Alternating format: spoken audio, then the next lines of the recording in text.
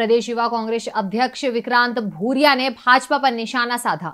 विक्रांत भूरिया ने कहा कि भाजपा सरकार हमेशा से ही दलित आदिवासी विरोधी रही है और सरकार ने हमेशा से ही आदिवासियों पर अत्याचार किए हैं। प्रदेश युवा कांग्रेस अध्यक्ष विक्रांत भूरिया युवा शंखनाथ कार्यक्रम में शिरकत करने डिंडोरी पहुँचे। विक्रांत भूरिया ने कांग्रेस कार्यकर्ताओं से अपील की है कि सभी कार्यकर्ता चुनाव की तैयारी में लग जाएँ। 2023 विधानसभा चुनाव में भाजपा सरकार को उखाड़ फेंकना है।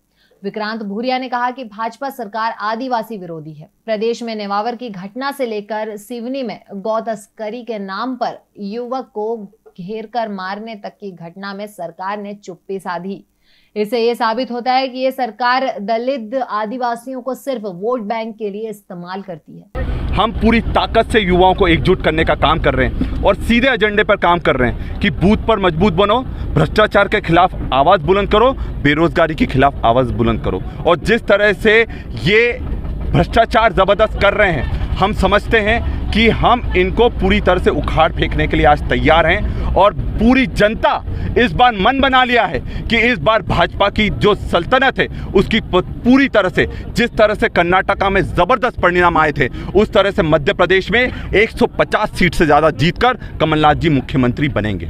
मध्य प्रदेश की महिलाओं के आर्थिक सशक्तिकरण के उद्देश्य से संवेदनशील मुख्यमंत्री शिवराज सिंह चौहान द्वारा मुख्यमंत्री लाडली बहना योजना का उपहार सभी पात्र महिलाओं को दिया गया है। इसके तहत उन्हें प्रति माह एक हज़ार रूपए दिए जाएँगे। ये राशि सीधे उनके बैंक खातों में पहुंचाई जाएगी। योजना की प्रक्रिया बेहद सरल और निशुल्क है।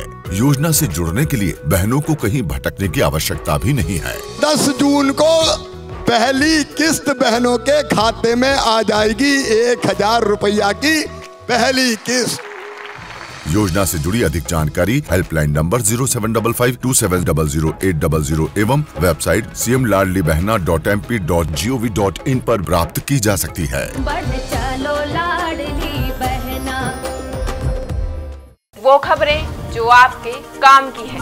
वो खबरें जो आपके लिए ज़रूरी है। हर आम और खास से जुड़े मसले। हर मसले का सटीक विश्लेषण। हम करते हैं सत्य का अन्वेषण। दखल न्यूज़। आपके हक में।